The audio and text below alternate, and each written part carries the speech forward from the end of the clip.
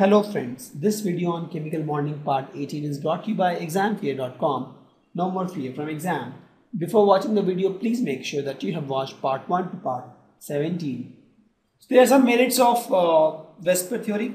The first thing is you do not remember the shapes of all the molecules. You just find out, you know how to find the Lewis structure and then if you have a little bit knowledge in the VSEPR theory, you can find the shape of the structure. It's very simple to use and only the electronic configuration is required to draw the shape. Or you can see that if you know the Lewis structure you can find the VSEPR theory. A VSEPR shape very easily because that also needs the electronic configuration to draw the shape.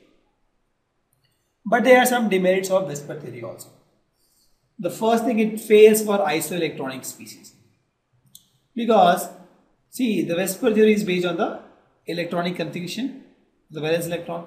See both these guys has 56 valence electron. If they have same electrons, the expected shape will be same, pentagonal bipyramidal. But by the diffraction data and the X-ray data, they found that the F atoms are not coplanar. Also, this theory fails for transition metal compounds. So if you see for transition metal compounds, the VSEPR theory predicts the shape of these to be uh, pentagonal bipyramidal. But actually using the diffraction techniques also you found that the shapes were octahedral.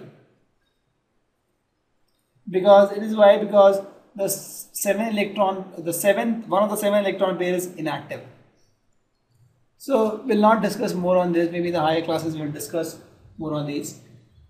One of the demerits of the VSEPR theory was it is not based on quantum theory. And why I'm telling this demerits is because the current accepted model for the atom is quantum theory based model.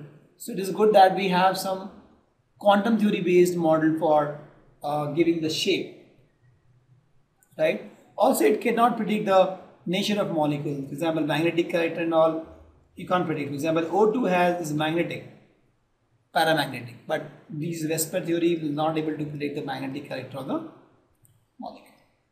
But the good part is it can easily predict the shape of most of the molecules and easy to use. Thank you. Visit examfear.com to watch free educational videos, try free online tests, get the best quality study materials, study from the best tutors and mentors, and much more. Thanks once again.